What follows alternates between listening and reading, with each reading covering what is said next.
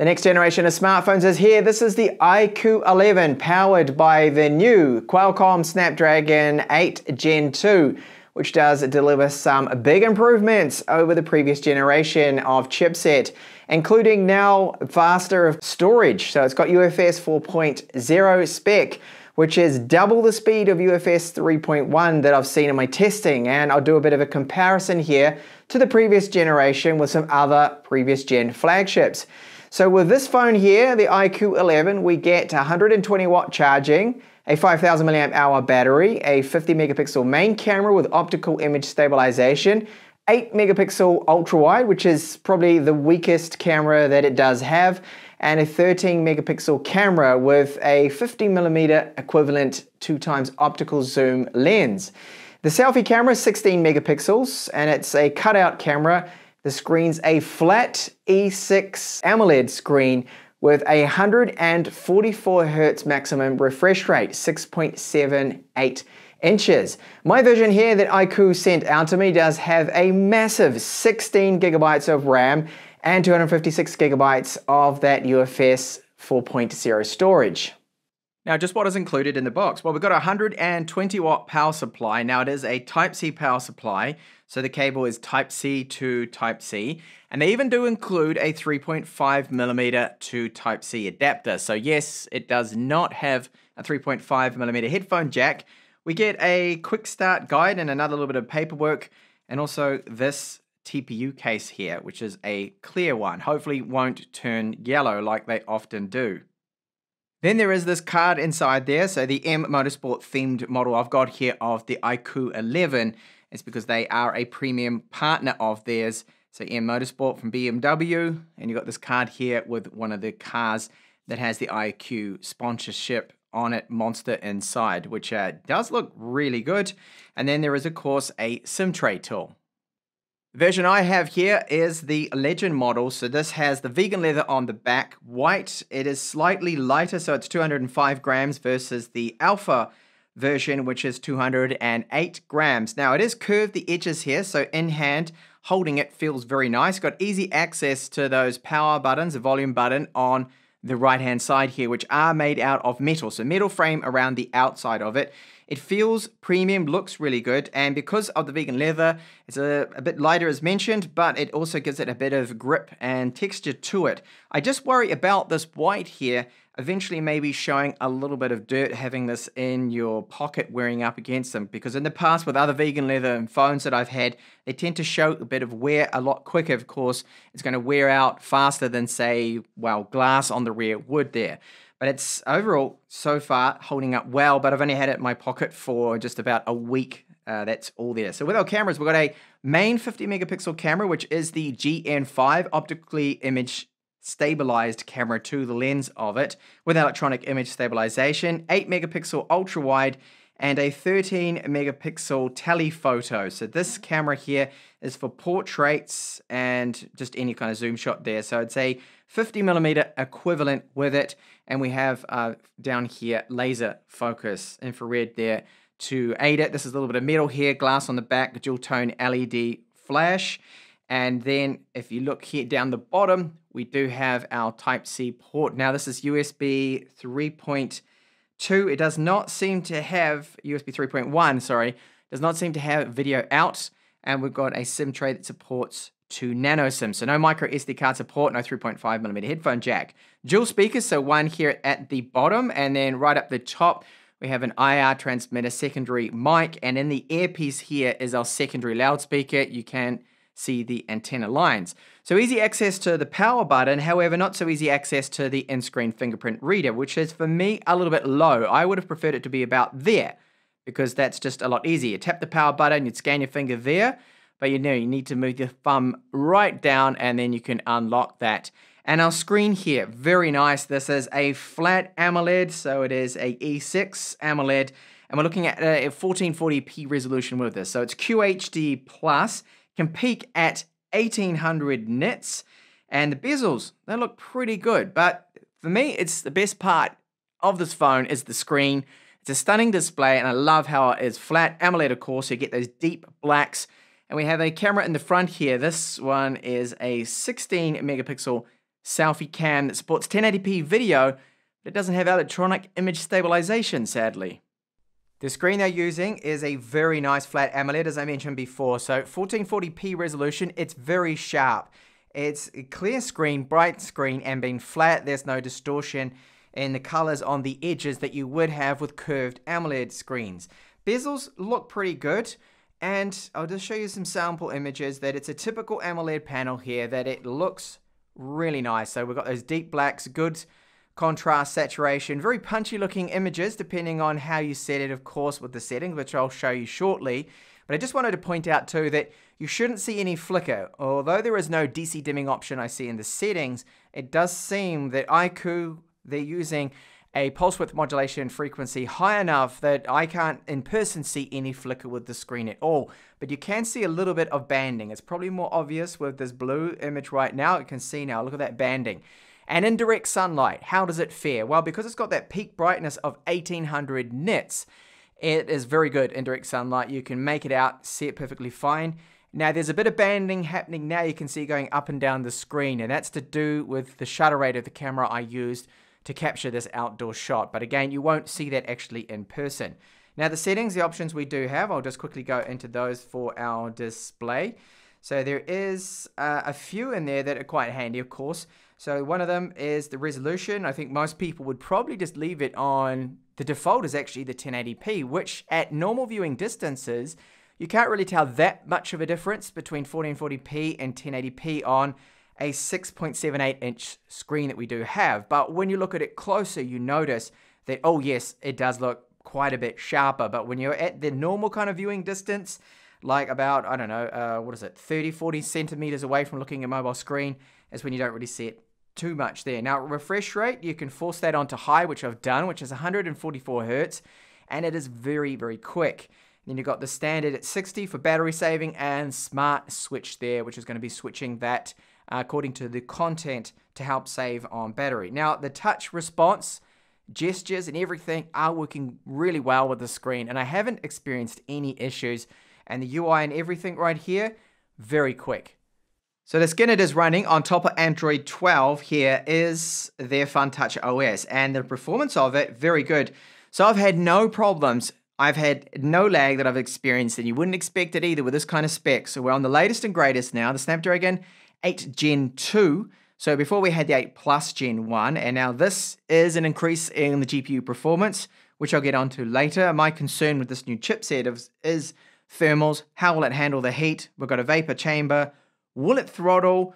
Uh, that's all going to be hopefully answered in this review here too of it. So my model here's got 16 gigabytes of RAM with the additional 8, which is part of, well, they call it RAM extension here, well, extended, but it really it's caching, okay? It's just a caching system there. So virtual disk that's going to help improve that performance. And 256 gigabytes of storage there, which is UFS 4 spec now. So it is very quick. I've experienced no lag at all with the UI here. Uh, we've got all our apps there in an app drawer, and it's a straightforward, fast system there, the UI FunTouch OS, and it is getting better. It's improving. I'll say it's not my favorite UI, but it it has improved quite a bit, and the performance is just amazing. So the toggles, everything you bring down, uh, there is no noticeable lag at all because you've got it all right there. And the experience is going to be very snappy, very quick. Everything's fluid. Everything just loads up instantly. Thanks to the chipset and the very fast RAM. Now, 16 gigabytes is ample, more than people's laptops, most people's laptops anyway, and that very fast storage. Bloatware. Well, it doesn't come with really a lot of bloatware. iQOO put on their own applications. So, yes, we've got iQOO.com, Cloud, the App Store, EasyShare, few others, um, their own apps, in-house applications there, Game Center too. So not really bloatware that I would classify as bloat, like things like Booking.com, TikTok, Facebook, not pre-installed, which is good. So they're more lenient when it comes to bloatware compared to other brands, which is excellent. So charge times with the 120 watt charger, as you'd imagine, very quick. So 5,000 milliamp hour battery.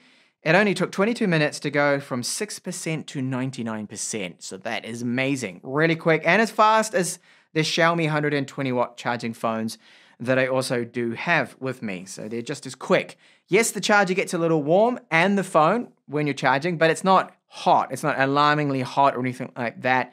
And of course, it's got all the battery management system built in, protection with the charger. So it will all be, should all be safe there. Now, how long will the battery last? Well, I've noticed that if you run 144 hertz screen refresh rate and you're quite a heavy user and you use the 1440p resolution, I struggle to get six hours of on screen time or even over that. So at least it charges really quick. Now, if you do run 1080p resolution and you run the smart refresh rate, you should be able to get over seven hours of on screen time. So the battery life isn't fantastic because it's such a bright screen. It is sharper and that high refresh rate really does take a hit on the battery. So we do have a Widevine level 1 cert here. Amazon Prime Video is not in full HD, but Netflix is. And we have a refresh rate you can see of actually 90, 120, and then the 144. But the 90 and 120 is all part of that smart refresh rate. It's going to do its own thing, so we can't, unfortunately, manually select it. So we've now got UFS 4.0 spec for the internal storage, and that is really quick. So I'll just give you a quick pre preview here compared to uh, UFS 3.1. You can see, look at this. So this is the Oppo Find X5 Pro, and it's over double the performance when it comes to the random reads, the sequential writes, the sequential uh, reads there too, all really, really good. Impressive speeds. And if I just get my Samsung S22 Ultra here, you take a look, you can see that, again, a lot faster. So it's a massive step up in the storage speeds, RAM speeds, GPU, and CPU. It's an all round, uh, very fast phone once you start to use it. Really, really quick here. So I do have the stress test here for wildlife, which I've run, and you can see performance drops down at almost 37%, which is quite a lot. I've got the same test. Actually, the same test did not even complete on the Oppo. It crashed and burned, is what I like to call it, because through an error message that the phone was too hot and it completely just went out. It just closed the app on me completely which is not good at all. But at least it doesn't happen here. It throttles right down. It's got a vapor chamber. Uh, the S22 Ultra Exynos version here does throttle down almost 30%. And you can see, look at the lowest score here, just over 1400, versus the lowest here, just over 2500. So there's a big performance difference there. But yes, it does throttle and it loses uh, quite a bit of performance, unfortunately, due to the heat and the thermal throttling. Now, because this is the first Snapdragon 8 Gen 2 phone that I am reviewing, look at the difference here between the Snapdragon 8 Gen 1 and the Exynos 2200 compared to this now. That's a huge leap in performance.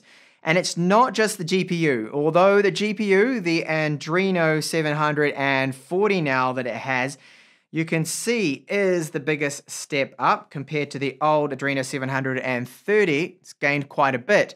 But look at the memory. Memory speeds really up there. And also the CPU. The CPU is uh, not a massive jump compared to the Exynos 2200, or this Snapdragon here is underperforming a little bit on the CPU side, Snapdragon 8 Gen 1. But it is all round a massive increase looking at Antutu benchmark here. This is version 9.4.7, which they all ran when they were cold, of course, to try and cut back on any throttling. The iQOO 11 does not have a 3.5mm headphone jack. It seems that all flagships just completely drop it nowadays.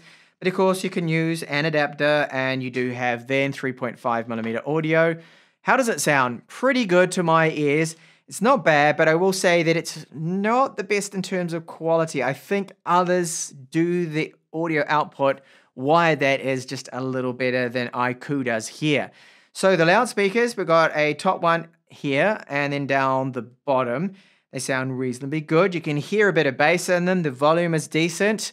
And before I give you a sample at 100% volume, just wanted to mention voice call quality. It's fine. There is active noise cancellation. And overall, sounds pretty much like any other flagship. I've noticed really no real differences there. So here's the sample at 100%.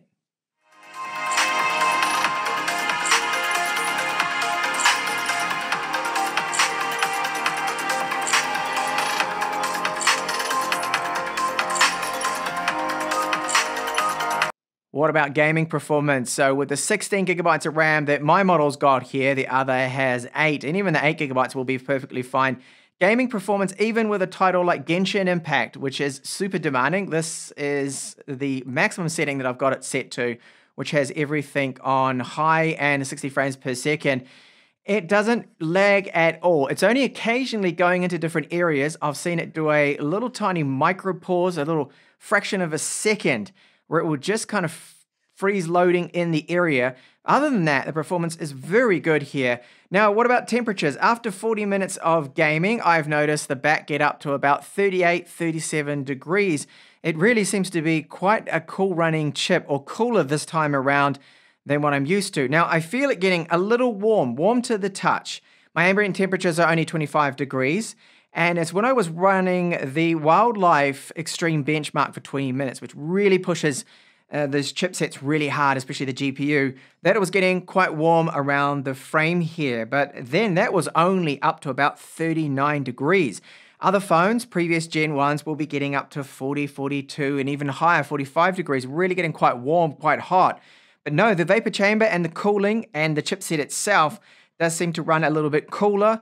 But yes, it is throttling like I showed you with those results with uh, 3 Max Extreme Wildlife Extreme test. So we'll throttle a little, but you don't really notice or see anything. The performance has been absolutely flawless here with Genshin Impact on the top settings.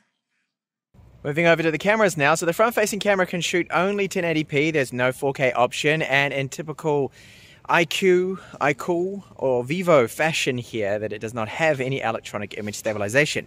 I don't know why they do this with their front-facing cameras. As you can see as I walk, it is shaking around all over the place. So not very good footage, not great quality. If you vlog a lot, this is really not the mobile phone for it with this front-facing camera footage. So I hope with a firmware update, they could add 4K and at least give it electronic image stabilization. Let's take a look at the rear cameras now.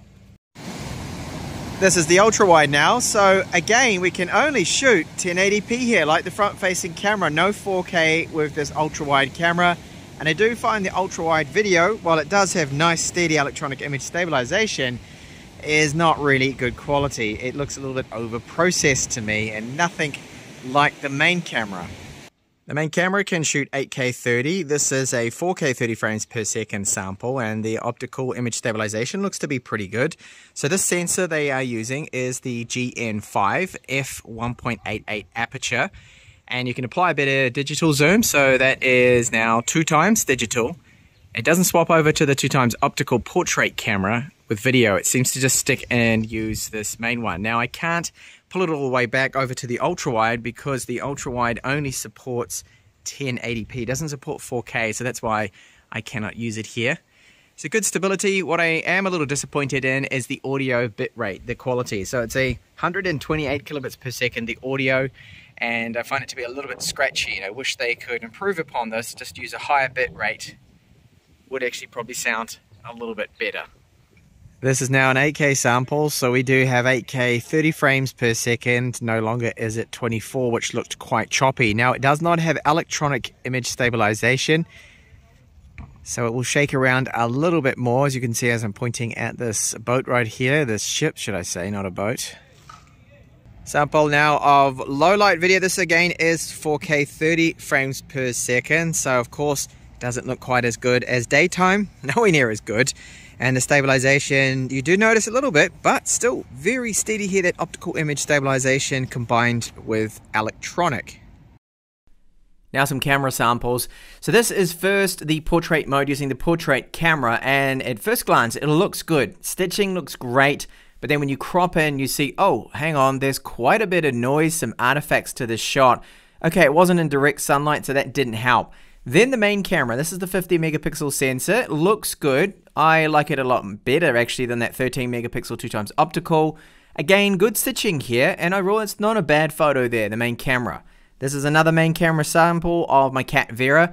I think it looks just fine. I think most people will be happy with that. Another one here too. This is with the sun almost out. It's been really overcast the last few days. Then the ultra wide. Now the ultra wide is disappointing. Like zoom into this and it looks like a budget phone ultra wide, 8 megapixels. It's very common sensor we seem to see everywhere. This is the main sensor again, and it looks a little too dark there, a little bit too contrasty. Low light performance, decent out of these cameras. Main camera right here, I think it looks good. Here's another sample, but if there is any wind, anything moves around, like look at those leaves, they'll blur a little bit there. Again, the main camera here, not bad at all. Low light performance. But then low light with the ultra wide, yeah, not good at all. Most ultra wides are terrible at low light, and this one is no different. And then finally, a portrait shot using the portrait camera, 13 megapixels in low light. Doesn't look very great, so wouldn't take any portrait photos in low light, just for daylight, really, that 13 megapixel camera. And the only real area of criticism with the cameras from me is the ultra wide camera. It's not a great lens, it's not a great sensor, it's only 8 megapixels, and the ultra wide shots around the edges especially tend to look a little washed out, lacking details.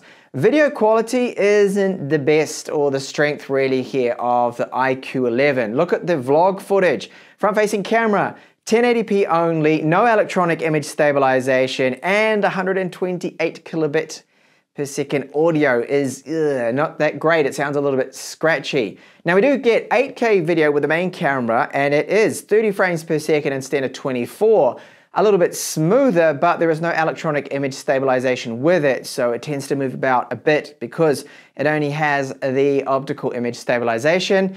And there is no 4K video with the ultra-wide camera too. That's another disappointing area. So it's the biggest weakness of this phone, the ultra-wide camera really for me. So the thermals checked out with gaming with the Snapdragon 8 Gen 2 that surprised me because the previous generations, look at the Snapdragon 8, 8 Plus Gen 1, and then of course the Snapdragon 888 hot chipsets that require quite a bit of cooling. It's either iQOO have done their homework with the vapor cooling chamber that's in this, that it, it seems to work out, the chipset is throttling, as I pointed out, with a 3D Mark's Extreme, Wildlife Extreme benchmark, throttled down over 30% performance, but it still is a lot more powerful than the previous generations, even when it is throttling a lot. So I can't wait to see this chipset in a gaming phone with uh, active cooling, a little fan in there, and then it probably won't throttle at all. But even so, playing all those titles out there, you get amazing performance from it. UI performance, everything's super fast, Super quick and snappy thanks to the new chipset, thanks to the faster storage. But do you notice it over the previous gen? Honestly, you don't really. It's only when you look at synthetic benchmarks you can tell the big difference. But using it, it feels very, very quick, but it doesn't feel that quick that I would say, oh, you need to run out and go and get the Snapdragon 8 Gen 2 over the previous generation because you're not really going to notice it unless you game a lot with super demanding games then the thermals work out to be a lot better and the performance in general when gaming. Gaming, you do notice it, I'd say a little there. So overall, very good phone, crazy fast charging rate, only 22 minutes to fully charge it. The battery life is, however, another area that you're gonna have to be careful. So if you run 1440p, Quad HD Plus resolution, and 144 Hertz, be prepared to just be careful with just leaving that screen on. Make sure you set a screen off timer to be quite low and control your brightness a little better. better. Otherwise, you might not make it through a full day. For me, I could I struggle to get over six hours running those settings. Now, if you use 1080p and the smart refresh rate, which is going to be using 60, 90, 120, and 144, I think it's just for the UI, the 144, then you'll be able to make it through a full day. But the battery life is a little bit of a concern here. It's not amazing as you'd expect with that super bright screen and that resolution. But yes, overall, nice phone here from iQOO, and I'm looking forward to seeing newer models from them and more, of course, Snapdragon 8 Gen 2 mobile phones. Thanks a lot for watching this review.